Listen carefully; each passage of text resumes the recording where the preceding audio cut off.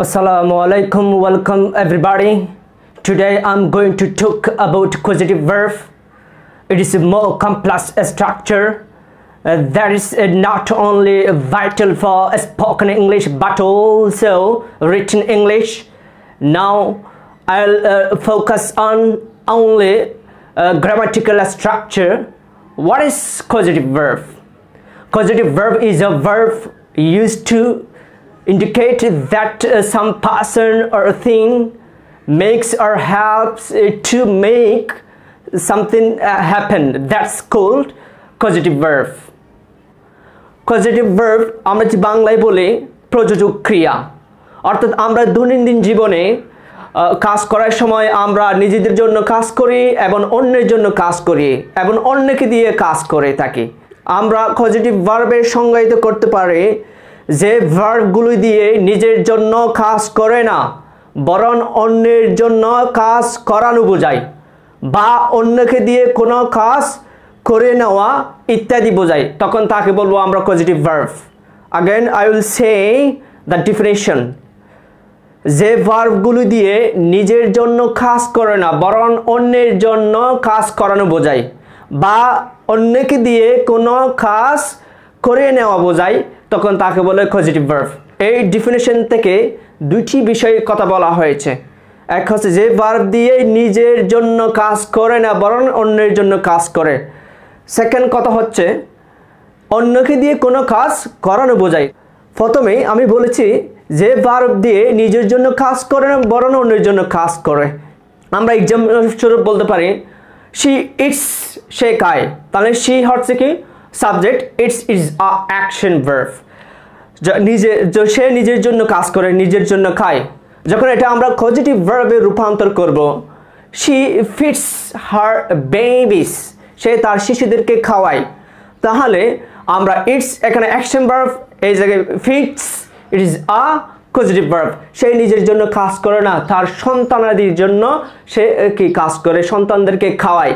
Okay another example I see আমি দেখি I show the pictures I show the pictures I see আমি নিজের জন্য দেখি I show আমি দেখাই অন্যদেরকে দেখাই অন্যের জন্য কাজ করে another example I learn English I learn English I learn English আমি হচ্ছে সাবজেক্ট learn হচ্ছে কি verb action verb ইংলিশ আমি ইংলিশ শিখি নিজের জন্য শিখি যদি আমরা পজিটিভ ভার্বে রূপান্তর করি I teach English I teach English I teach English অর্থাৎ আমরা তিনটি এক্সাম্পল থেকে বলতে পারি ইট ফিট ইট হচ্ছে এক বার ফিট মানে কি? অন্যদেরকে খাওয়া ইট মানে নিজে খাওয়া, সি মানে নিজে দেখা, সেও মানে অন্যদেরকে দেখানো। লার্ন মানে নিজে শেখা, আর টিচ অন্যদেরকে শেখা।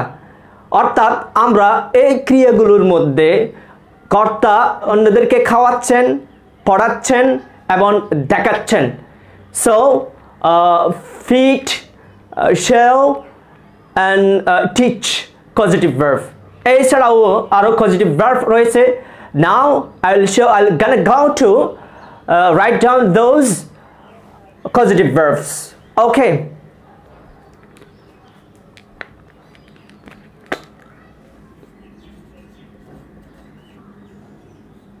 Okay আমি আরও কিছু পজিটিভ ভার্ব লিখেছি, যেগুলো দ্বারা নিজে না করে অন্যের জন্য কাজ করায়। আমরা তিনটে এক্সাম্পলের মধ্যে জেনেছি ফিট এবং ফিট শো টিচ এগুলো হচ্ছে কি নিজের জন্য করে না, এবং অন্যের জন্য করে। ওকে এগুলো ছাড়াও আরও কতগুলি কি রয়েছে এই ধরনের পজিটিভ ভার্ব রয়েছে, যেগুলো নিজের জন্য করে না, অন্যের জন্য কাজ করে। অর্থাৎ সেগুলো আমি বোর্ডের মধ্যে লিখেছি রিমেম্বার রিমাইন্ড রিমেম্বার মানে নিজে স্মরণ করা। রিমাইন্ড মানে অন্যকে স্মরণ করে দেওয়া। রিমেম্বার নিজে স্মরণ করা রিমাইন্ড অন্যকে স্মরণ করিয়ে দেওয়া। নেক্সট ডাইভ ডাইভ হচ্ছে কি নিজে ডুবে যাওয়া। ডিপ অন্যকে ডুব- ডুবানো। নেক্সট ড্রিঙ্ক নিজে পান করা। ড্রেঞ্চ ড্রেঞ্চ হচ্ছে অন্যকে কি? পান করানো।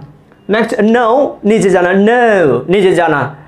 ইনফর্ম অন্যকে জানানো। লাস্ট রাইজ রাইজ মানে ওঠা যেটা হচ্ছে প্রকৃতির নিয়মে ওঠা আর রেজ মানে উঠানো হয়। ওকে যে ভার্বগুলো নিজের জন্য কাজ করে না, বরং অন্যের জন্য কাজ করানো বোঝায়, অথবা বা অন্যকে দিয়ে কাজ করানো বোঝায়। অন্যকে দিয়ে কাজ করানো বোঝায়, তখন পজিটিভ অন্যকে দিয়ে কাজ করানো বোঝায়। তাহলে অন্যকে কাজ করানো বোঝায়, এই যে এগুলো মুষ্টিমীয় কতগুলো পজিটিভ ভার্ব এগুলো ছাড়া, জন্মগত পজিটিভ ভার্ব ছাড়াই কতগুলো ভার্ব আছে যেগুলো দিয়ে আমরা অন্যকে দিয়ে কাজ করাতে পারি। তাহলে সেগুলোর মধ্যে কতগুলো আছে? আমরা লিখেছি force persuade ask cause allow enable require help keep make let have help get তাহলে আজকে আমরা এইসব ভার্ব দিয়ে অন্য একটি ভার্বকে আমরা পজিটিভ রূপান্তর করতে পারি, অর্থাৎ অন্যকে দিয়ে কাজ করাতে পারি। আমরা আজকে অনলি আলোচনা করব make let have help get এই চারটা, পাঁচটা, এইসব ভার্ব দিয়ে আমরা পজিটিভে রূপান্তর করতে পারি, তখনই পজিটিভ ভার্ব হবে। যখন মেক ল্যাট হেল্প গ্যাট এবং হ্যাভ এগুলোর পরে যদি আর একটা কি থাকে? অবজেক্ট থাকে বা এজেন্ট থাকে প্লাস আনাদার কি? অ্যাকশন ভার্ব পূর্ব শর্ত হচ্ছে কি? অবজেক্ট প্লাস অ্যাকশন ভার্ব যদি অ্যাকশন ভার্ব এবং কি অবজেক্ট না থাকে, সেক্ষেত্রে এগুলো পজিটিভ ভার্ব হিসেবে গণ্য করা হবে না। আনাদার ভার্ব হিসেবে আমরা বলতে পারি। যেমন গেট আমরা বলতে পারি আই হ্যাভ আই হ্যাভ আমার একটি কি আছে? আই হ্যাভ আমার আছে। আই হ্যাভ আ পেন আমার একটি কলম আছে। হ্যাভ এখানে হচ্ছে main verb I have gotten GPA five I have got got is a main verb হিসেবে বসেছে এখানে। ওকে আমরা যে আরও বলি যে I make a note I make a note from a authentic source I make note make main verb হিসেবে বসেছে not positive verb okay positive verb হওয়ার জন্য পূর্ব শর্ত হচ্ছে, আমি আবার বলতেছি মেক লেট হেল্প গ্যাট এগুলোর পরে যদি অবজেক্ট বা এজেন্ট থাকে আরেকটা আনাদার অ্যাকশন ভার্ব থাকলে তখন আমরা এগুলোকে বলব positive verb otherwise don't go positive verb okay এখন আমরা এই পজিটিভ ভার্বকে ভার্বগুলোকে তিনটে স্ট্রাকচারের মাধ্যমে আমরা আজকে কীভাবে ব্যবহার করতে হয় within short time how to be solve all the question okay let's go to practice okay Okay, I've written a few example on the bird. Look at the uh, bird on the bird. Okay. First structure, subject, make, let, help. আমরা make, let এবং help always কি হয় base form of a verb. তার example I made him, made any tense. এখানে tense, any tense, tense পরিবর্তন পরিবর্তন হতে পারে. make, made, made হতে পারে. help, helped, helped হতে পারে. Okay. তাহলে যদি কি তাকে ব্যক্তি থাকুক বা বস্তু থাকুক অবজেক্ট যাই থাকুক না কেন always base form of a verb okay I made him do the job I made him do the job base form এটা আমরা I got him I got him do the job ও বলতে পারি। I helped him I helped him do the job হেল্পের ক্ষেত্রে base ফর্মও বসানো যায় এবং two plus infinitive বসানো যায়। টু প্লাস ইনফিনিটিভ আর অনলি বেস ফ্রম বসানো যায়। সেক্ষেত্রে আমরা তার জন্য এখানে হেল্প লিখেছি। তাহলে এখানে যদি আমি সেম স্ট্রাকচার যদি বলি I help him do the job I help him to do the job সে, আমি চাই সে কাজটি করুক। অর্থাৎ আমি তাকে দিয়ে কাজটি করিয়ে নেওয়া। আমি কাজ নিজে না করে, তাহলে তাকে দিয়ে কাজটি করিয়ে নেওয়া হয়। অর্থাৎ তাকে দিয়ে আদায় করিয়ে নেওয়া। তাহলে এটা positive verb okay second structure subject get হ্যাভের পরে যদি কি থাকে, ব্যক্তি অবজেক্টটি যদি ব্যক্তি হলে বেস ফুম হবে। ওকে যেমন I had I eight I had Rakib repair the roof repair the roof I had তাহলে হ্যাড এনি টেন্স হতে পারে হ্যাভ হ্যাড হ্যাড ওকে তাহলে ব্যক্তি অবজেক্ট যদি ব্যক্তি হলে, সেক্ষেত্রে যে একটা আনাদার অ্যাকশন বার আসবে, সেটা always basic form of verb repair okay যদি হ্যাডের পরে যদি কি আসে? দ্বিতীয় যদি দ্বিতীয় রুলস আমরা হ্যাডের পরে যদি ব্যক্তি আসে, তাহলে সেক্ষেত্রে আমরা বেস ফ্রম ইউজ করব। আর যে গ্যাটের পরে যদি ব্যক্তি আসে তাহলে সেক্ষেত্রে আমরা টু প্লাস ভি ওয়ান অর্থাৎ বেসিক ফ্রম তাও। যদি আমরা এক্সাম্পল বলতে পারি I got John I got John to watch I got I got তাহলে get got any tense John it is a person তাহলে এটা হচ্ছে কি ব্যক্তি। ব্যক্তির পর ক্ষেত্রে যদি কি হয়, যদি গ্যাটের পরে যদি ব্যক্তি থাকে ভার্বটি to plus basic form to plus infinitive okay okay to wash the খা আমি জন কি দিয়ে আমার কার আমার গাড়িটি পরিষ্কার, পরিচ্ছন্ন করে নেওয়া হয়। তাকে দিয়ে কাজটি করাই। ওকে আমরা দ্বিতীয় রুলস যদি আমরা যদি দ্বিতীয় রুলস বলি, সেক্ষেত্রে হ্যাভ এবং গ্যাটের পরে যদি বস্তু থাকে, প্রথমে শিখেছি হ্যাভ এর পরে যদি ব্যক্তি থাকে, তাহলে বেস ফর্ম অফ ভার্ব গ্যাটের পরে যদি ব্যক্তি থাকে, সেক্ষেত্রে হয় টু প্লাস ভি ওয়ান যদি হ্যাভ এবং গ্যাটের পরে যদি বস্তু থাকে, সেক্ষেত্রে ভি থ্রি হয়। অর্থাৎ ভার্বের ফার্স্ট পার্সেল ফর্ম বসে। আমি একটি এক্সাম্পল লিখেছি। অর্থাৎ এক্সাম্পল আমরা সেম এক্সাম্পল দিয়ে লিখতে পারি। আই হ্যাড দ্য রুফ তাহলে আই হ্যাড হ্যাডের পর কি আছে? বস্তু। থাকলে আমরা কি? ভি থ্রি হ্যাড এবং গ্যাডের পর যদি ব্যক্তি থাকে, যদি হ্যাড এবং হ্যাড এবং গ্যাডের পর যদি অবজেক্ট বস্তু থাকে, সেক্ষেত্রে হবে first participle form V three যদি কি থাকে? হ্যাট এবং গ্যাটের পরে যদি ব্যক্তি থাকে হ্যাবের ক্ষেত্রে হচ্ছে বেস ফর্ম বেস ফর্ম আর গ্যাটের ক্ষেত্রে ইনফিনিটিভ যদি হ্যাট এবং হ্যাভ এবং গ্যাটের পরে যদি বস্তু থাকে, সেক্ষেত্রে অলওয়েজ ভি থ্রি অর্থাৎ first participle form I had have had had the roof. তাহলে ইট ইজ আ এটা হচ্ছে বস্তু। বস্তুর ক্ষেত্রে বস্তু অবজেক্ট হলে যদি বস্তু অবজেক্ট হয়, সেক্ষেত্রে বি থ্রি হয়। তাহলে আমরা কি লিখতে পারি? I had the roof I had তাহলে হ্যাভ হ্যাড দ্য রুফ সাতটি রিপায়ার্ড ইয়েস্টারডে রিপায়ার্ড রিপায়া রিপায়ার্ড রিপায়ার্ড ওকে আমি গতকাল আহ, সাতটি কি পরিষ্কার করিয়ে নিয়েছিলাম। তাহলে যখন হ্যাট এবং গ্যাডের পরে যদি কি থাকে বস্তুবাচক অবজেক্ট থাকে সেক্ষেত্রে always V three always V three first participle form okay okay আলাদা এক্সাম্পল আমরা বলতে পারি গ্যাট তাহলে গ্যাটের পর যদি এখন ব্যক্তি আছে, তার জন্য কি হলো ইনফিনিটিভ টু যদি কি থাকে, বস্তু থাকে, সেক্ষেত্রে হবে ভি থ্রি আমরা সেম এক্সাম্পলকে লিখতে পারি আই গট দ্য খা the car washed. I got the car washed. I got the car washed. I got get uh, got uh, got uh, also uh, get got gotten. The car is a object হলো বস্তুবাচক। So is a v3 হবে past partial form তাহলে আমরা প্রথম স্ট্রাকচারে লিখেছি make let help এগুলোর পরে যদি any object plus যদি অ্যাকশন ভার্ব থাকলে সেক্ষেত্রে basic form of a verb অর্থাৎ বেস ফর্ম একটি ক্রিয়ার আসল ফর্ম তাহলে আলাদা এক্সাম্পল আমরা বলতে পারি মাই ফ্রেন্ড হেল্প অর্থাৎ আমি হেল্প দিয়ে এক্সাম্পল দেখাইনি, তাই এখন দেখানো হচ্ছে I my friend help me my friend help me help help help helped helped okay ব্যক্তি থাকুক বা বস্তু থাকুক অলওয়েজ কি base form of a verb to plus V one infinitive যে কোনো একটা ইউজ করা যাবে, তাহলে যেহেতু এখানে ব্যক্তি আছে, তাহলে অপশনের মধ্যে আছে get to get gerund another example A এবং বি যেমনি বা যখন আমরা বিসিএস এবং competitive exam university A test we have to face আমাদের ফেস করতে হয় different kind of situation and different category questions okay তাহলে গ্যাট যেভাবে আসে গ্যাট টু গ্যাট গ্যারিন এবং এই লাস্ট অপশন এ এবং বি তাহলে আমি বলেছি, এখানে প্রথম স্ট্রাকচার লেখা আছে হেল্প ফর এনি অবজেক্টের পর আমরা বেস ফর্মে বসাতে পারব বেস ফর্মও বসাতে পারব, আমরা হেল্প পরে টু প্লাস ভি ওয়ানও বসাতে পারব এবং বেসিক ফর্ম অর্থাৎ base form of a verb তাহলে এখানে একটি base form get to get তার আনসার হবে কি? যদি এবার দেওয়া থাকে লাস্টের অপশনে বোথ অর্থাৎ এ এবং বি দুইটা আনসার এবার থাকলে তাহলে আনসার হবে কি? গ্যাট ইনফিনিটিভ হবে এবং কি?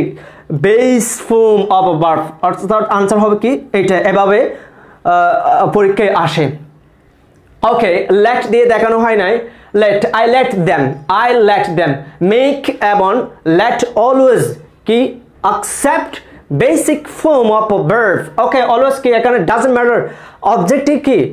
ব্যক্তি হোক, বস্তু হোক it doesn't matter okay I let them let let এবং make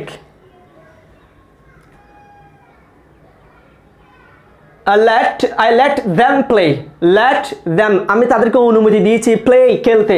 তাদেরকে লেট অবজেক্ট যাই থাকুক না প্লে ওকে তাহলে মনে রাখতে হবে, আমরা কখন পজিটিভ ভার্ব বলব?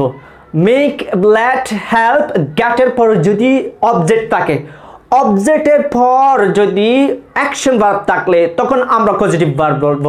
Otherwise don't come positive verb আমরা তখন পজিটিভ ভার্ব বলব না। সেখানে বিভিন্ন সিচুয়েশন অনুসারে ভার্বগুলো বসতে পারে। ওকে আমরা তিনটে স্ট্রাকচারের মাধ্যমে আমরা আজকে পজিটিভ ভার্বের সংক্ষিপ্ত আকারে আমরা স্ট্রাকচার ব্যবহারটি শিখেছি। আমাদের মনে রাখতে হবে কম্পিটিটিভ এক্সামের মধ্যে তিনটা rules only make make let help এগুলোর পরে অবজেক্ট বস্তু হোক বা ব্যক্তি হোক doesn't matter you have to notice আমাদের নোটিস করতে হবে এখানে আনাদার ভার্ব আছে কিনা অ্যাকশন ভার্ব থাকলে। সেক্ষেত্রে অলওয়েজ বেসিক ফর্ম অর্থাৎ base form of a verb to plus V one হবে। দ্বিতীয় নম্বর রুলস হচ্ছে, আমরা লিখেছি হ্যাভ এবং গেট হ্যাভের ক্ষেত্রে যদি ব্যক্তি আসে, সেক্ষেত্রে আমরা বেসিক ফর্ম ইউজ করব base form of a verb যদি গ্যাটের পরে যদি ব্যক্তি আসে, সেক্ষেত্রে আমরা ব্যবহার করব to plus V one okay third তিন নম্বর স্ট্রাকচার হচ্ছে যখন আমরা হ্যাভ এবং গ্যাটের পরে যদি কি থাকে বস্তু থাকে always accept V three V three means first parcel form okay কীভাবে কোয়েশ্চেন প্যাটার্নটা হতে পারে? আমরা জবের ক্ষেত্রে বলি বিসিএসের ক্ষেত্রে বলি আমরা আনাদার কম্পিটিভ এবং অ্যাডমিশন টেস্টে কীভাবে আসে সেই সম্পর্কে কয়েকটি নমুনা প্যাটার্ন দেখানো হবে। ওকে ওকে আমি দুটি এক্সাম্পল লিখেছি যেভাবে আমাদের পরীক্ষায় আসতে পারে। Okay look at the boat I met him আমি তাকে আই মেট হিম পিৎজা ওকে মেট তাহলে প্রথম স্ট্রাকচার মেক লেট হেল্প থেকে এসেছে। Make met met any tense হতে পারে।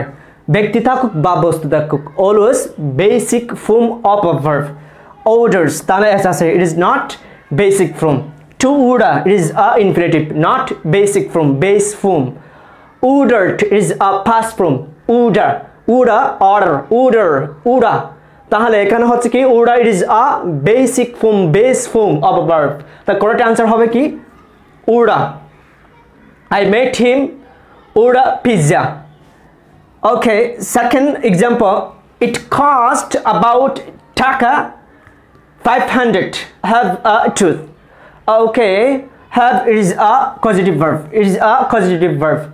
আমরা বলেছিলাম have এবং have এর পরে যদি ব্যক্তি থাকে, সেক্ষেত্রে হবে basic from base form of a verb যদি কি থাকে এর পরে যদি কি থাকে, ব্যক্তি থাকলে টু প্লাস ইনফিনিটিভ have এবং এর পরে যদি কি থাকে অবজেক্ট যদি বস্তুবাচক হয়, সেক্ষেত্রে V three okay teeth it is a it is not person এটা ব্যক্তি না, এটা বস্তু। অর্থাৎ টিথ মানে দাঁতকে বোঝানো হচ্ছে, এটা হচ্ছে কি অক্ষম অবজেক্ট সেক্ষেত্রে অলওয়েজ ভি থ্রি হবে। তাহলে অপশনে আমাদের খুঁজতে হবে ভি থ্রি প্রথম আছে ফিল ইন অ্যান্ড জি জিরান টু ফিল এটা হচ্ছে কি infinitive not V three filled another option হচ্ছে কি ফিল বেস বেসিক ফর্ম আছে।